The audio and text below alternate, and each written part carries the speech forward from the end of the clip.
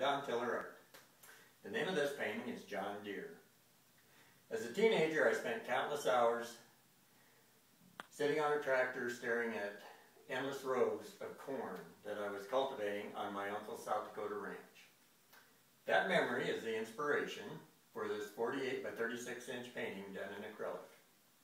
You can view it at the Gunnar Nordstrom Gallery in Bellevue, Washington during my October show. Information, visit.